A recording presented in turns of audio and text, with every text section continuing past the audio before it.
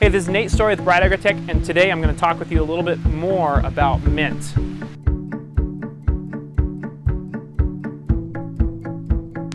So mint is a really great crop. It's in high demand everywhere you go. Bars love it, consumers love it, especially during the summer. A lot of things are made with mint. And uh, so for that reason, a lot of growers really love growing this crop and they can get a lot of money out of this crop. So some things to know about mint, um, if you're starting from seed, you're usually like 14, 16 days for germination, another like five to six weeks at least before you can transplant that seedling. And then you're looking at at least six weeks, if not seven or eight sometimes, to get it to the point where you can start harvesting it. So it's a slow starter. The thing is, is once it's growing, you can cut it and cut it and cut it and cut it and just keep cutting it until it basically gets so big it barely fits in the tower anymore. So um, in that regard, it's one of those, it's kind of an investment crop. Um, now a faster way to do that or a way to speed that up is to just start with cuttings. And uh, cuttings can be a great way to go with mint because it roots out, it's very great, uh, it's very responsive to cloning. It roots out really fast and you can transplant it uh, really quick and get towers going really, really fast. You can also divide towers once they get a little, little overgrown as well. So lots of options there for propagation. Um, as far as the crop itself, it likes cooler temperatures typically, good full sun. We're typically talking, you know, um, a little bit longer day length, 14 to 18 hours, somewhere in that range. And it likes a little bit more of a neutral pH, so it doesn't like going super acidic like some of the other uh, herbs do. Um, mint does uh, pretty darn well uh, in 6, 5, 7, so mid sixes um, ideally. If you're running it with a lot of other stuff, you just kind of shoot for the mid sixes and uh, they stay pretty happy. It is a vigorous grower. It grows really, really fast once it builds up some root mass. So once it has some root mass, uh, it will just keep growing and growing and growing. You can cut it back to the crown with no fear of really hurting the plant significantly. Just takes a little longer to grow out again. But, uh, so in that regard, you know, complete harvests are a total possibility with this crop, and then you just regrow from the crown. So mint seed is not particularly expensive and there's a lot of it. Mint seeds, when you get them in, are super, super tiny. And uh, once the mint starts to flower, it produces a lot of seed. And so, yeah, I mean, the seed is, is uh, pretty priced pretty well. If you're starting from seed, you'll get a lot of plants out of a fairly small packet of seed. It's, a, it's not a great germinator. It's a little slow and um, it can be a little tough to grow from seed. So uh, that's one thing to keep in mind. That's one reason why most people, they may start kind of their initial, all of their initial plants from seed, but then in the end they end up almost always going to cloning uh, their healthy plants to get uh, the materials for new uh, towers or new plants. Really kind of an attractive crop. Um, this one's showing a little bit of a deficiency, but um, it can turn a really, really rich green.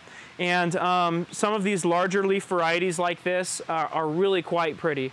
And they look great. They're great for garnishes. They look beautiful in drinks. And um, they're, of course, great for cooking with when you get uh, much larger leaves. Uh, there's a lot less uh, kind of prep work to, to get the plant ready to use for chefs and for bartenders, that kind of thing. So um, it's a pretty crop. It grows in very thick on the tower, so the towers are attractive if you're considering live sales. It's a great crop in that regard. Um, and the taste is really quite good if you get it right.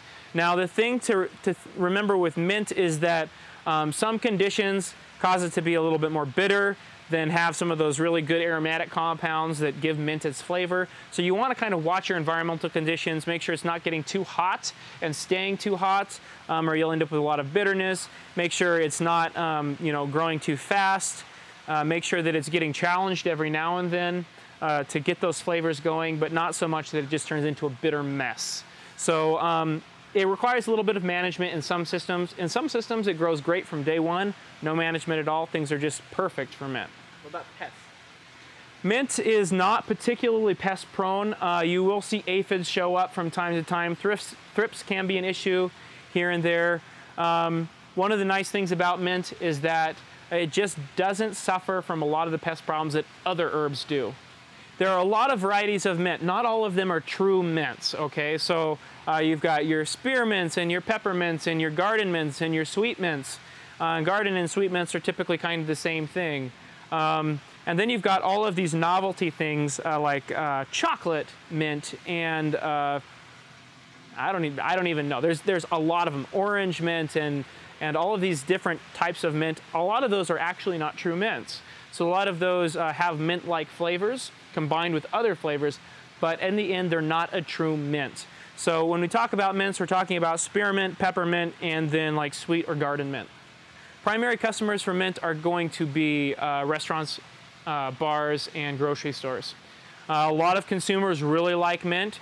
It tends to be kind of a seasonal thing with consumers, but in bars you can sell mint year round. They're always making drinks with mint. It's super popular. And if you have good mint, you'll have no shortage of customers when it comes to, to bars.